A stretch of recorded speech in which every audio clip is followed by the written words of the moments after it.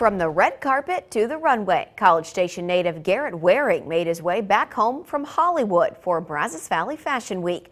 News 3's Whitney Miller caught up with the 14-year-old actor who will soon star in Independence Day.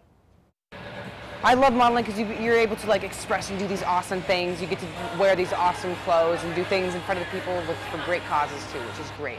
Garrett Wareing got his first starring role in the movie Boychoir, working alongside Dustin Hoffman and Kathy Bates. He was only 11 years old. And for them to just shape and mold me into what I am now was just, I was very grateful for that. Ever since, Garrett says he's been extremely busy working on what is expected to be his breakout role this summer in the remake of the 20 year old film Independence Day Resurgence. Where they brought back a lot of the original cast and some newcomers that just steal the show. And we got to ride on the salt flats from the first movie and we're in this bus and we were being chased by this helicopter and this car. It was amazing. It was such a cool experience.